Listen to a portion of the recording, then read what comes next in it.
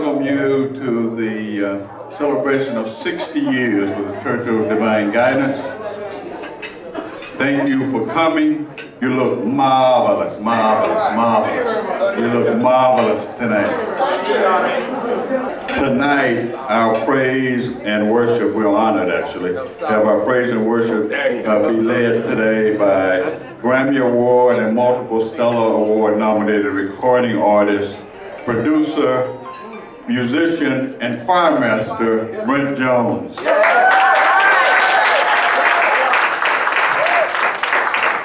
Brent's interest in music started at an early age, and when he was seven, he had his first piano lesson, and that would lead to a musical journey inspiring people around the world. God has blessed him with producing several projects, directing many choirs, performing in front of various audiences, and setting a long-lasting trend in the gospel music industry. Before Kirk Franklin, there was TP, Total Praise Mob, a group known for their hip-hop, high fashion, and beat set with significant messages of truth, words of inspiration, and dance moves that appeal not only to the youth looking for a different Christian expression, but people of all ages who love good music with a message. With appearances on major network TV shows like The Tonight Show and touring internationally to Italy, Nigeria, and other exciting countries, Brent developed, has developed a multicultural following across the land and now the music director, and he is now the music director at the multicultural Valencia Christian Center in Valencia.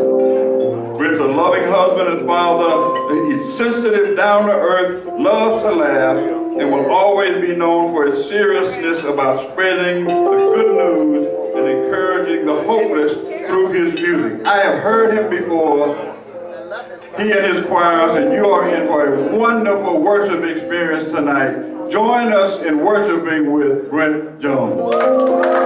I know over these 60 years, it took some divine guidance to get you where you are today. I thank God for your pastor and your first lady. I just want to be a vessel. I spent a long time trying to be a star. And whatever that did, God told me, I don't really need you to be a star. I, I called you to be a light. So I thank God.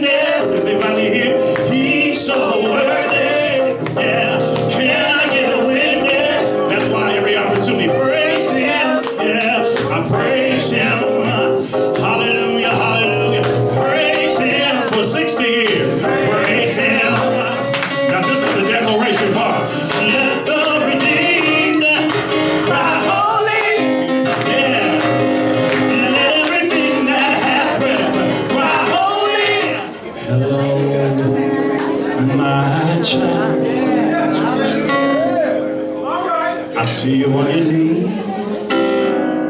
It must be midnight. I know you're sad, but I'm so glad you took the time out to call.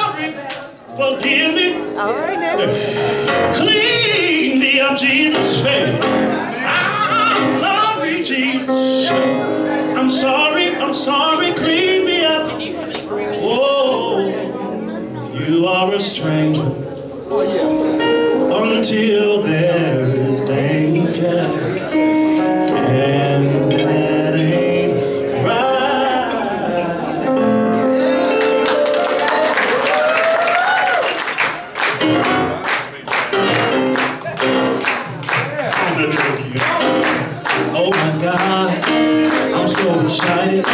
Jesus is love. You better know it. I can dance, I can dance, I can dance with him.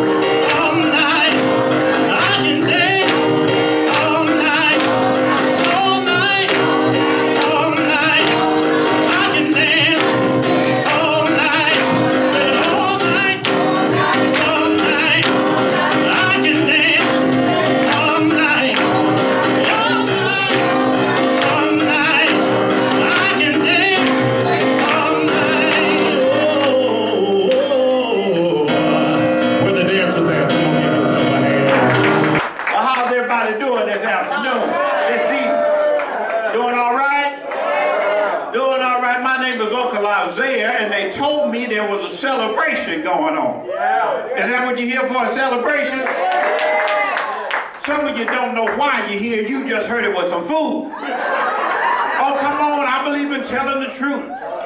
When we get 60 plus, we don't care where we go, just as long as some food. Oh, no. I, I go out to eat every Saturday. Yes, I do. Yes, I do. It may not be a restaurant. It'll be a funeral. What you laughing at? I got the funeral homes on speed dial. Them on Thursday. Say, what you got on Saturday? What church you going to? And have you ever noticed something? When you get older, old folk, we never go to the cemetery. We go straight to the repast. You ain't gonna see us out there on that grass. We going to the repast. Oh, I'm just gonna tell the truth. That's what it is.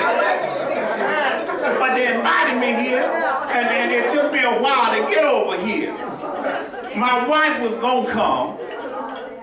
But me and my wife, we've been together for 60 plus years. You hear what I said? 60 years. What you clapping for? You don't know that heifer. I didn't say I was happy for 60 years. I just said I was with the gal for 60 years. You see, see, see, see, when we got married, people only lived back then up to about 60 years old. We didn't know being married up till death really meant that. We thought somebody was going to go and we can spend, insurance money. But didn't happen. So my wife always liked to go when I like to go, but I know how to fix her now. Because you know a woman can't help herself. She can't help herself. I came out dressed just like this. And I call this justice. Just anything. I just put on just anything. And you know what she said? Where are you going? I said, I'm going down to the celebration. You going dressed like that? I said, yeah. She said, I ain't going nowhere with you like that. I said, praise the Lord. I'm going out. So if I got to come out looking like this, I will.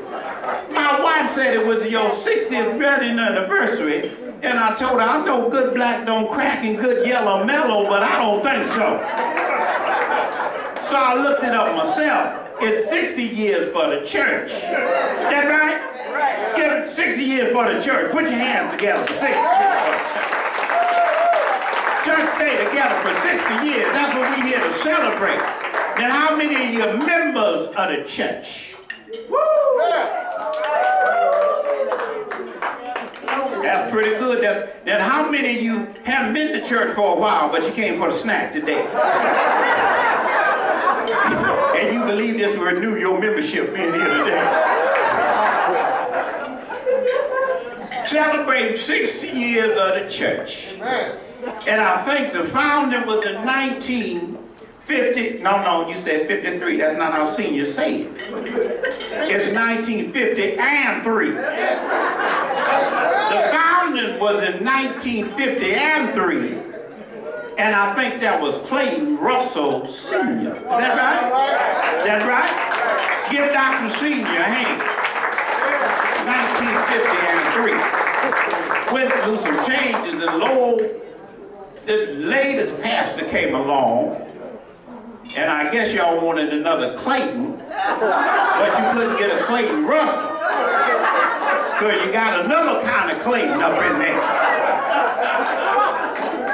Is that right? Get that pastor hand. No, no, no, I'm going to tell the truth. Because the pastor is the only one that's a member of the church that you should let sing, even though he can't sing. Oh, no, no, no, no, no, no. I'm not directing it at him. I'm talking in general. But know he can't sing anyway. But anyway, it is what it is. And where we've fallen in the church sometimes is the music department. You can't let everybody get up there singing. Lady come up to me one time, tell them about Pastor. They won't let me lead a song. I said, well, you can't sing foreground if you can't sing background. What's wrong with you? You can't keep and you got to watch out for them. You can't have it in church. You see, this is this is the rod of correction. I'm sitting down. But we're here to celebrate 60 years. Pastor, they say you're doing pretty good over there.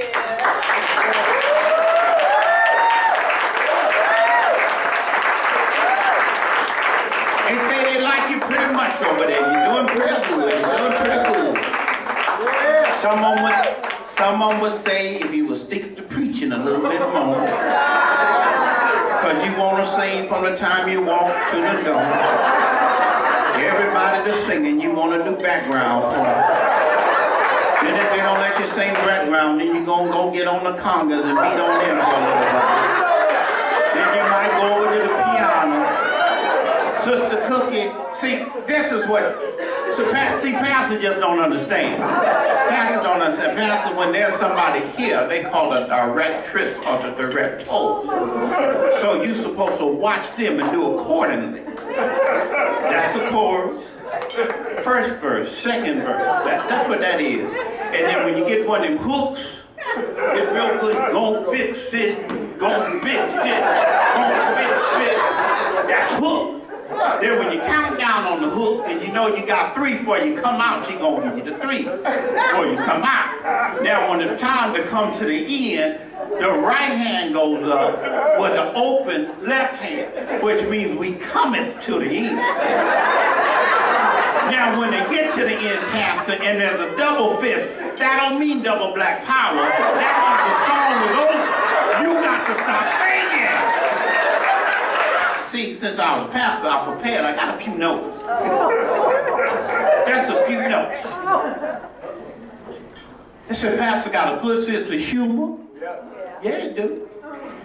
Because he's married to Cook. Y'all sit there like you want to. I'm no cookie. She thinks she highfalutin. She works down there at the University of Southern Compton.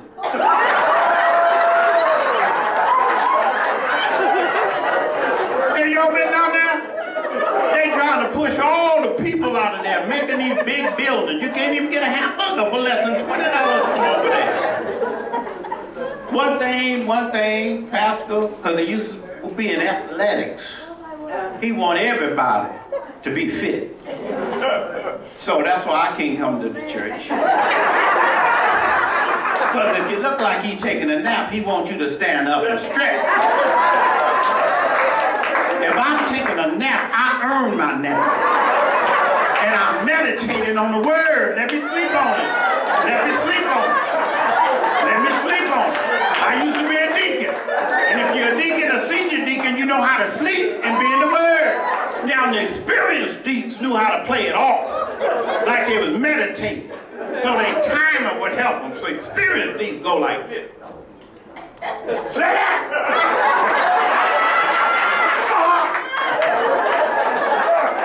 You preachers! What say, what say?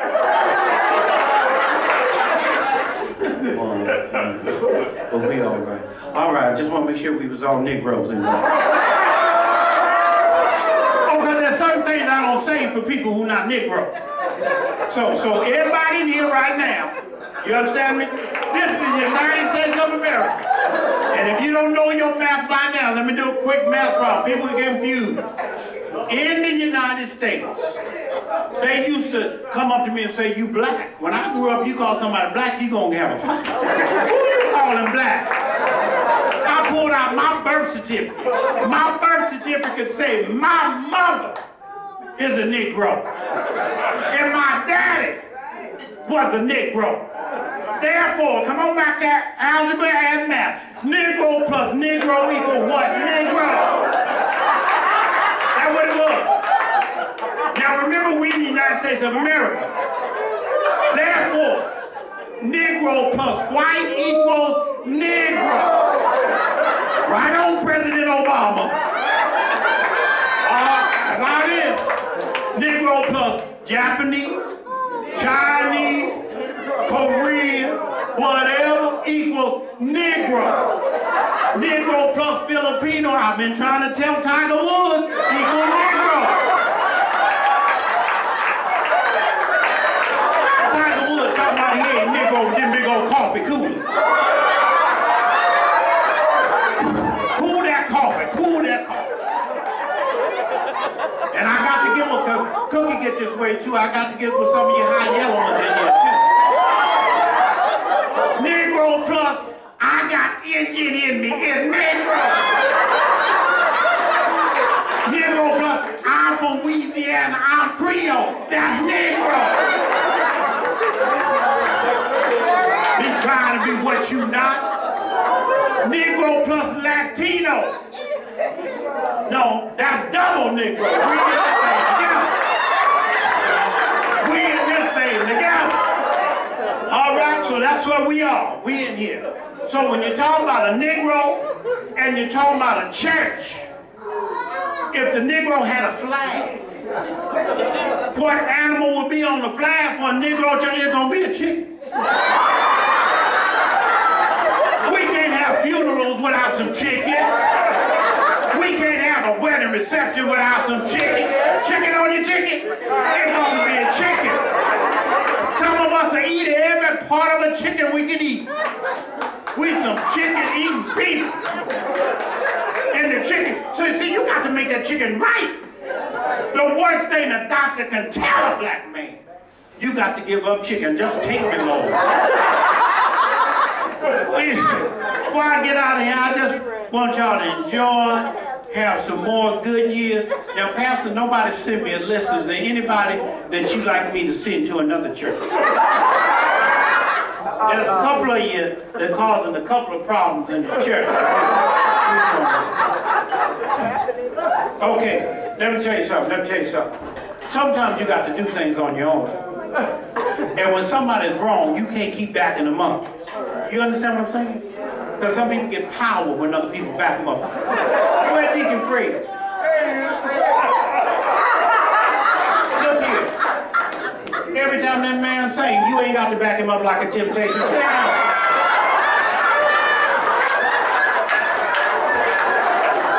Time he get up saying you.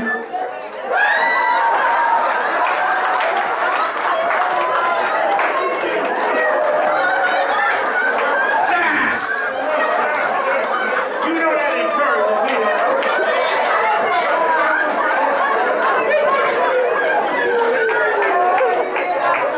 Backing off. Did y'all practice back in the office? Did you practice? Now, I think the pastor will lift the band on the cell phone. He gonna lift the band on the cell phone, and two of the major culprits will stop this. Uh-oh. Where, Brother Matt? Brother Matt, can you stay off that phone? texting and, and all that, and you Facebooking and everything, doing service time. See, see, the problem is you young people don't know how to do it right. Get a big Bible. what's, it, what's the Bible? Hold it down low. And then you gotta look up at it now.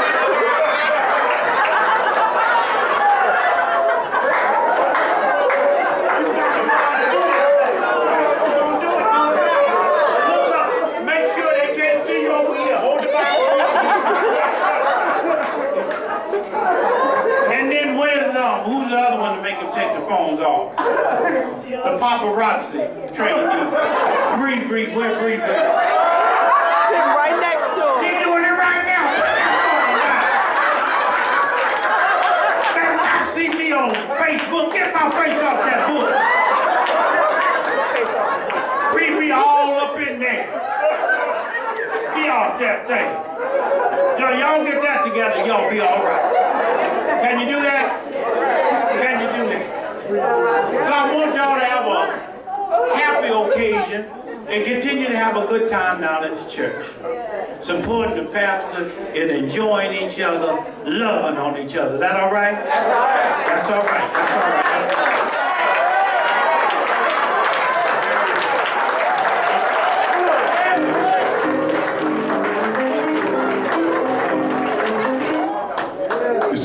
Good time? All right, great, great. We want to, we want to uh, now talk about uh, why we're here tonight.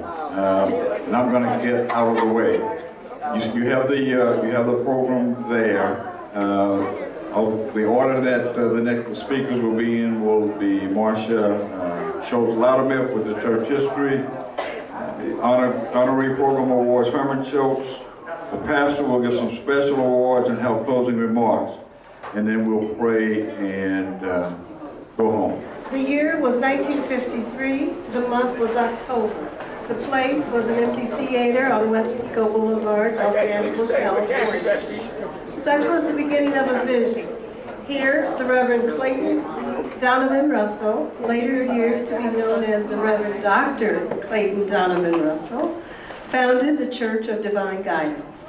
The struggle had been hard and the trials many, but out of this small beginnings, great things were to come. Installed in the new, their new home, an old theater known as the Forum Theater, a small band of faithful, hopeful, determined, and loving worshipers slowly began to establish a new body in Christ, another church. Spurred by their dynamic leader, they quietly went out in the name of the Great Commission to bring in other disciples to fill the pews in this assembly of God. Soon there went out from this group another searching party. This time, the searching party was looking for the, a church building to purchase. A church building therein to establish themselves for a permanent church home. This leader did not think that the theater was the place to carry out the full program of action that he had been dreaming of. He expressed that God is guiding us in a search for the right place in which to accomplish the work that the Lord had put in my mind to do. He said, when we find the right place, we will know it. Until he touches us and tells us, we will go on searching. As the Reverend Russell and his band of devoted followers continued looking for a new and permanent church home, his memory took him back 15 years into the dark past when he and those around him had gone into the battle to fight for the will of God against great odds and unprecedented circumstances, and yet won with the divine guidance of God. We refer to the days when after long months and months of struggle, of prayer, of preaching, lecturing, writing, and trying to reach the souls of men through God's Word, the Bible. The Reverend Clayton Donovan Russell finally awakened officials of city, county, state, and of Washington, D.C.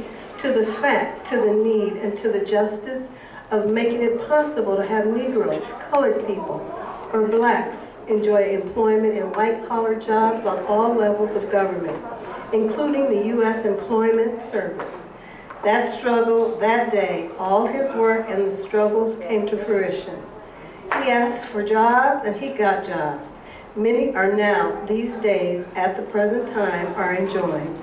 The fruits of the present, I'm sorry, the fruits of the toil and struggle of this man of God, Clayton Russell, Clayton Donovan Russell, and his spiritual followers. It so happened that one day, as the search committee for a new permanent church home met to discuss the various leads, proposals, and propositions, that had manifested themselves during the week, one very special member of the church committee handed Pastor Russell a group of newspaper advertising clippings that she had taken from various newspapers. Being tired and worn, the pastor glanced through the clippings without much interest, but absent-mindedly stuffed them in his pocket. On the following day, God's divine guidance, a voice spoke within the pastor insisting that he look again at the newspaper clippings that he had stuffed in his pocket. This he did. One clipping then seemed to stand out from the rest. It appeared to his sight to have been a in a bolder print. The pastor's attention was arrested. His eyes became focused, and a sincere sincereness came over the past, the person, as never before. Words aloud fell from tired lips. This must be it. Yes, this is it. This is the place for worship. This is the place to establish a permanent church home for God's people. His thoughts stirred in him into action. He called this very special member of the committee and stated to her his God-sent conclusion and said that they should immediately take a look at this building. Excitedly, the pastor and his committee rushed over to the address of 1518 South Gramercy Place, Los Angeles, California. There was this beautiful edifice, a Jewish synagogue. The doors were locked and there was no person around to unlock and open the doors for their entering. With a forceful, hard push on the doors, they sprang open like the wings of an eagle. It seemed as if the doors themselves were glad to that glad that group had come by, and with open arms they were inviting the group to enter. Excuse me. Once inside the dark, quiet house of prayer, the pastor said he could still hear the whispering of some small voice speaking. This is it. The search for a permanent house of worship is ended. And in that self same hour, all who were standing there knew that their search had ended at 1518 South Gramercy Place, that divine guidance had again led them and again fulfilled the need of his people. There followed many days of negotiating before the final documents of agreement were completed, even though Pastor Russell and his flock had only a small percentage of the money necessary to secure the mortgage, divine guidance placed a ram in the bush in a person of member Sister Blanche Strickland, who offered willingly to negotiate a loan to the church organization for whatever the amount of money needed to finalize the transaction. This climaxed the months of prayer, struggle, anxiety, some disappointments, and some hardships. It is no wonder that Pastor Clayton D. Russell and his loyal followers accepted the God-given name of the Church of Divine Guidance Incorporated and wrote in its Articles of Incorporation under Article 3 that the existence of this corporation is to be perpetual. The years have rolled by, many new members have been added to the church membership. Roll book, I'm sorry, some came by way of conversion as candidates for baptism. Many came from other Christian churches of various denominations with Christian experience and others came as associate members seeking to share at times the welcome, friendly atmosphere of having a home away from home. Others came to share in administering of the struggle for civil rights, social, political, and judicial justice for colored people, and for Negroes, and for black American citizens, no matter what a generation may choose to refer to these people, as the issues are the same the year 1993. Yes, the Church of Divine Guidance still exists at the same address of 1518 South Gramercy Place in the city of Los Angeles. And we do hereby certify under Article 1 of the Article of Incorporation that the name of this corporation shall continue to be the Church of Divine Guidance. Amen, amen, amen and amen. We um, have some very special people here with us this evening, and we'd like to let you know that these are, I can't say enough about them. They've done marvelous things for the Church of Divine Guidance. And we'd like to honor them with these plaques. First person would be Boyd Dickey.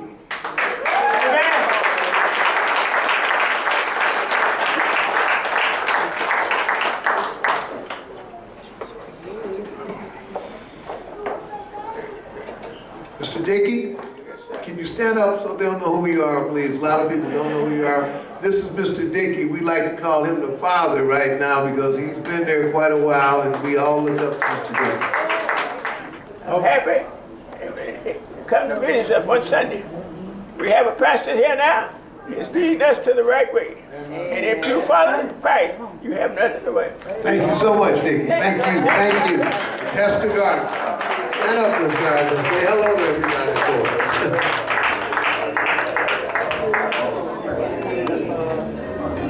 Say, I just love my church, and I love everybody in the church, and God bless everybody. Thank you Amen. Gardner. I didn't know if you wanted to tell the truth about that, but there are two of them. ninety-five.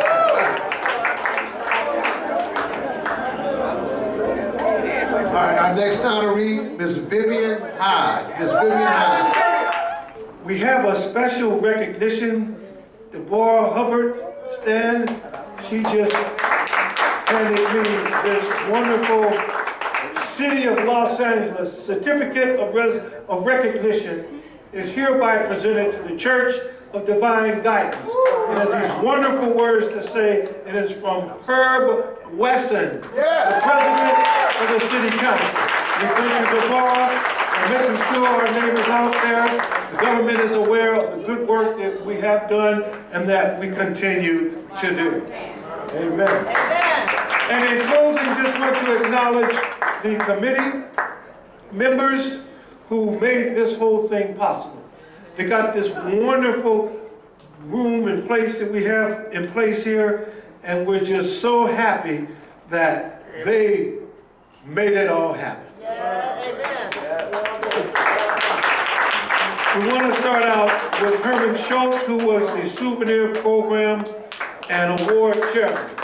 Another one of the folk that made this whole thing happen, Marcia Schultz. Please come. And we have Jeanette Brewster. And then we have another banquet co-chairperson, Marion Clayton. Amen. We have the invitation chairperson. And that's Ruth Jacobs. And we also have Donald Jacobs. Associate Pastor Donald Jacobs, the banquet MC and treasurer.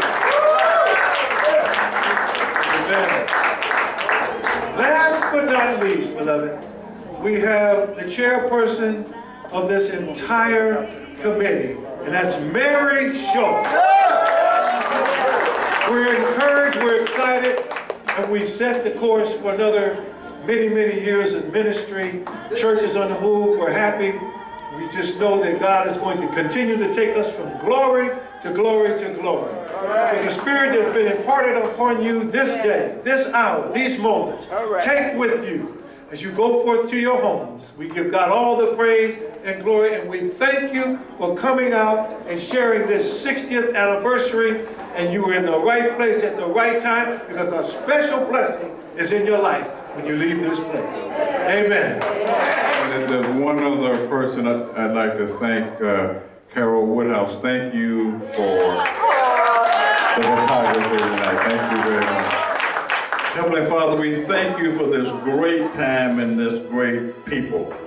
We praise you, Lord God, for your goodness, the goodness of the, the Church of Divine Guidance being around for 60 years. And we thank you for the blessings that all of us have received as being a part of the Church of Divine Guidance. Thank you for those that were honored tonight.